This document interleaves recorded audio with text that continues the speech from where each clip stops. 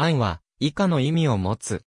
現代日本における意味と中国で発祥した歴史のある案が持つより、講義の意味との間には、現代でも曖昧な領域が存在する。特に、案という以外に、あんこといった場合には、下記の位置を指すことが多い。澱粉質や食物繊維の豊富な食材を煮詰め、水分量の少ない重い練り物に仕上げた詰め物。当初は塩によって味付けされ、塩あんと呼ばれた。後に砂糖が普及してからは、甘いあんが主流となった。豆、さつまいも、栗、かぼちゃ、ハスの実、黒ごま、白ごま、ピーナッツバター、くるみ、冬瓜、ナツメ、バナナなどが例として使用されてきた。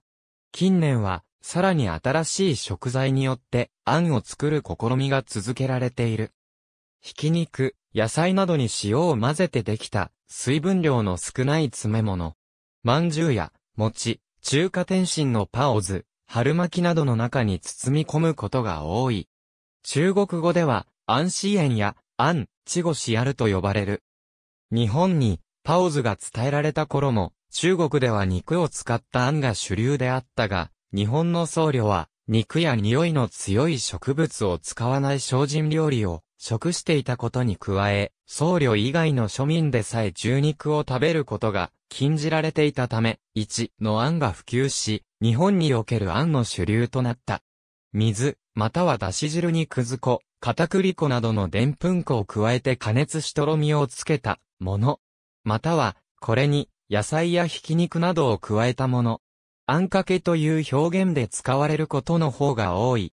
その他、近年では、特に、ジャム、生クリームや、カスタードクリームなど、クリーム類、生チョコレートや、チョコスプレッドなど、チョコレート類、ピーナッツバターなど、粘度のあるお菓子の詰め物のことを、和菓子に限らず、あんと呼ぶこともある。その他、何らかの中に詰めるもの。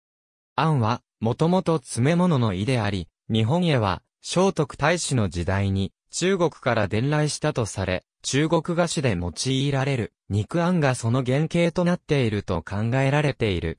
小豆を用いた小豆あんが開発されたのは鎌倉時代であるとされる。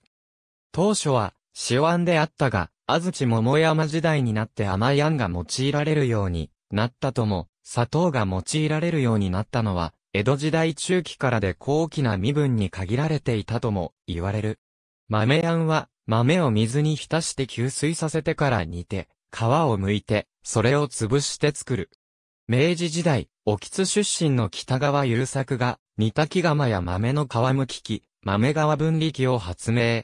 同郷人の内藤育太郎と共に、現在に至る、西安機を使った、西安産業の原点を築いた。沖津地区北部の上源寺町にある八幡神社には、西安発祥の地であることを記した石碑が建てられている。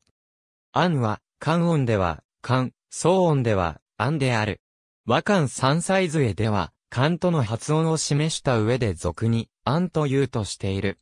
甘味庵は、野菜を砂糖と共に煮て作る詰め物である。主に菓子類、特に和菓子で多く用いられる。餡が、詰め物の意味であるのに、後の日本では餡を外側につけるなど、詰め物としての扱いから逸脱した使われ方が派生してしまい、例えば、おはぎの外側についているのは詰め物でないので、それは、餡とは言えない。豆類で作られる場合では、小豆、空豆、インゲン、エンドウなど澱粉と食物繊維の含有量が多い種類が使われ、特に小豆を煮詰めた小豆あんが代表的であり、豆さんとも呼ばれる。芋あんでは、さつまいもなどが用いられる。その他、栗あん、かぼちゃあん、蓮の字あん、黒ごまあん、白ごまあん、落下生あん、くるみあん、冬瓜あん、ナツメあん、バナナあんなど、あんとして使われる食材には特に規定も制限もない。原材料による、分類小豆あんうぐいすあん加工度による、分類製造法による分類砂糖使用量による、分類食材そのものでは、安状にならないものを、甘み豆あんに混合して、風味をつけたものを加合あんという。混合させた食材がわかりやすいように、一般的に白あんが用いられることが多いが、白あんには特有の癖のある豆の匂いがあるため、小豆によるこしあんが使用される場合など、様々な例がある。